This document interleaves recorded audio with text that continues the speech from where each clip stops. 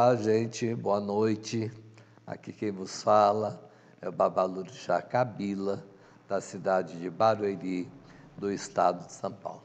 Estou recebendo uma pergunta de uma pessoa chamada Conrado, né? Ele quer saber o que, que acontece quando o pai de santo não quer entregar o ibá quando a pessoa sai de casa, ou quebra, ou entrega todo surrado, sovado, né? Olha, eu vou dizer por mim, pela minha casa, viu? Pela minha casa. Não vou dizer nem pela minha matriz e nem e nem por casa, nem pela casa de ninguém. E também não vou responder pelo que as pessoas escutam e ouvem na internet, de, de grandes advogados até renomados, de pessoas importantes. Eu vou dizer da forma que eu aprendi da forma de como eu fiz santo e do que sempre a mãe de santo falou. Ibá de Orixá foi feito para morar dentro da casa de, do candomblé, dentro, da, dentro do, do, do terreiro. Ibá de Orixá não foi feito para poder entregar na mão do filho de santo, para ele construir um quartinho no fundo da casa dele, ou uma casinha, tipo a casinha de cachorro, não menosprezando os animais também, para enfiar o, o Ibá Orixá ali. Entendeu? É, o Orixá, na minha casa, no meu axé, só sai, só sai, se esse filho um dia for abrir uma casa de candomblé.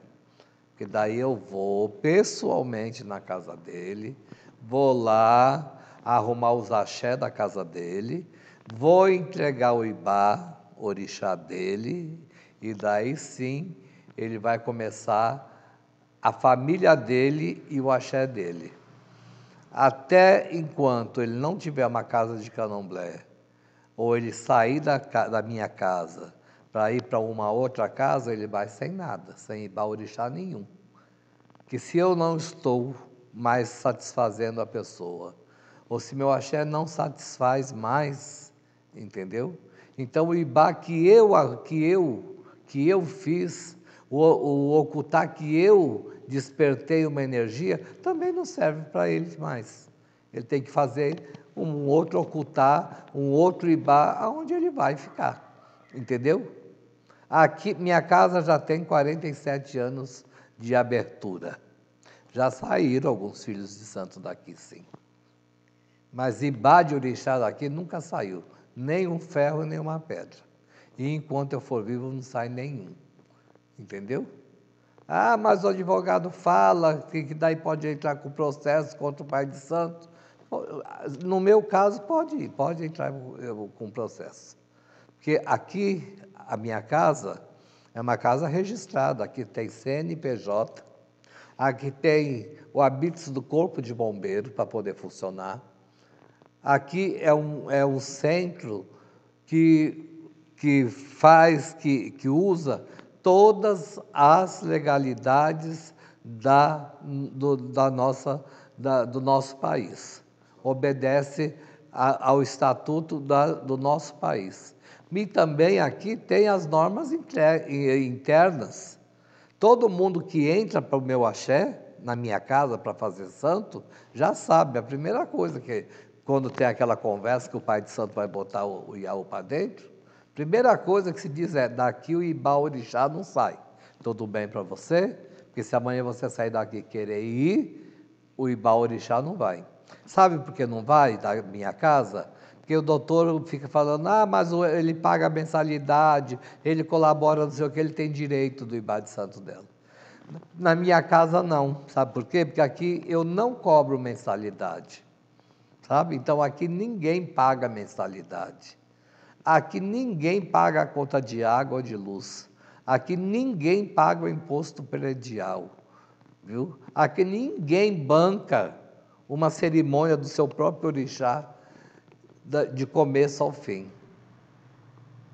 A pessoa às vezes fica um ano, dois, três, sem, sem olhar o seu Ibá Orixá. Você ir no quarto do santo, botar uma vela que seja.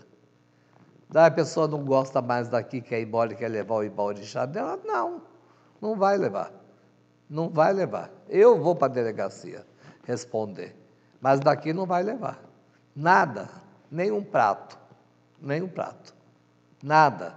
Porque 99% das pessoas que vêm fazer orixá, isso estou falando, todos os pais de santo sabem que como é isso. Sempre vem sem as coisas completas.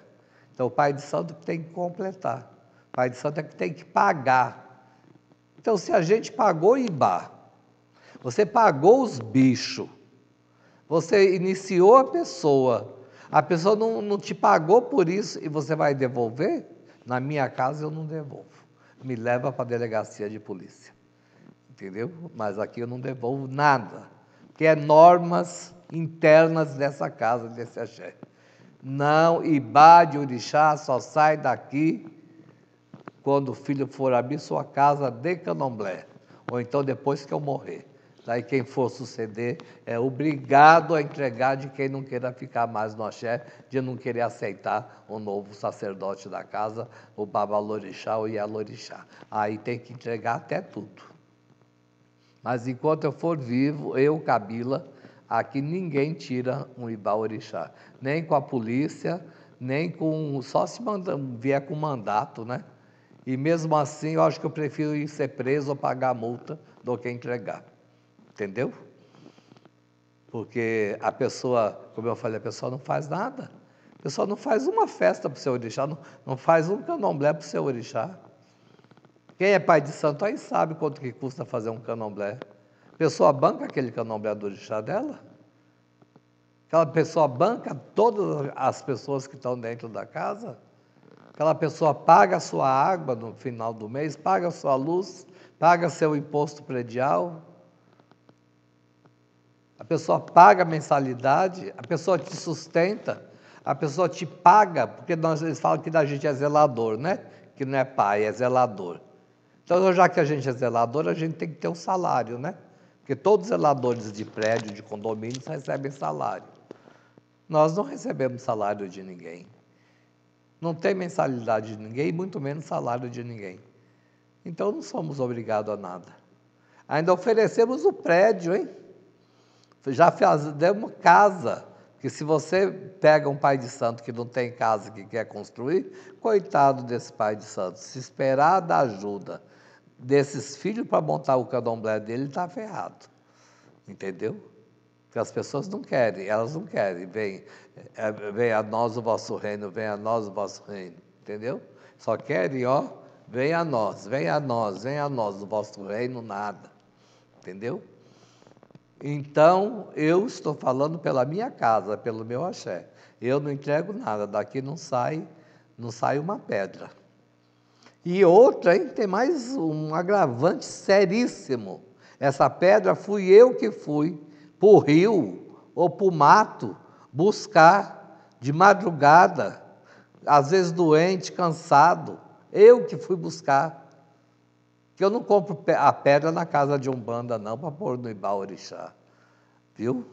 Embora de lá deve ter o mesmo efeito, porque eles devem comprar de alguém que vai no rio também pegar. Entendeu? Mas as da minha casa não é assim, não. Entendeu? Sou eu que vou buscar. Eu quero que a pessoa me dê uma nota fiscal dizendo que ela comprou o ocultar, o otar, a ita, o que ela quiser, como ela quiser chamar. Entendeu? Que ela me prove que aquela pedra é dela. A loja da onde ela comprou, da onde ela quanto ela pagou. Entendeu? Se ela tiver todos esses documentos, talvez eu vou até pensar se eu posso entregar. Entendeu? Mas como você que é babalorixá e alorixá, sabe que eles não vêm com tudo, né? Às vezes vem sem nada sempre, na maioria das vezes, né? Na maioria das vezes é sem nada. E quando ainda fala assim, ah, eu paguei meu pai de santo, pagou em um ano, dois, três, dez, e na verdade não paga, porque quando vai pagar o dinheiro já não vale mais nada. Né? Não fala assim, ah, é festa do pai Oxóssi, ah, eu sou de Oxóssi, então pode deixar, pai, que a festa é comigo. Duvido que ele vai gastar 20, 30 mil para fazer um candomblé dentro da casa do axé. Se ele não quer dar um bode quatro galos, vai manter uma casa de candomblé? Eles não pagam nem a conta da, da casa deles, de água, de luz. Às vezes estão processados, às vezes estão no Serasa e vai pagar mensalidade para a casa do candomblé? Eles não querem pagar 25 reais para o guarda noturno cuidar da casa? Quer pagar para o zelador do orixá por mês? Quer pagar a mensalidade? Ah, só se mudar as leis. Se falar assim, não, quem paga isso, isso, isso, isso, compra e tudo, e traz nota e não sei o quê, se vamos fazer uma pastinha, vamos guardar, e tudo que você paga durante o mês e durante o ano, daí se você for, tiver em ordem, você leva seu ibaorixá. Se não, prefiro pegar o otá, não. O otá e o ferro, a gente tem que respeitar, né? Que foi a gente que despertou aquela energia. Agora, barro, louça, pico tudo e jogo no meio da rua entendeu? Mas daqui não sai. Tá bom? Não é marra minha, não. Porque já que eles querem fazer marra com, com o Pai de Santo, com a casa, então é aquilo, né? O bem se paga com o bem e o mal nem sempre se paga com o mal, mas se paga com hierarquia. Tá bom? Muito obrigado pela sua pergunta e até uma próxima, se assim Deus e os orixás permitirem.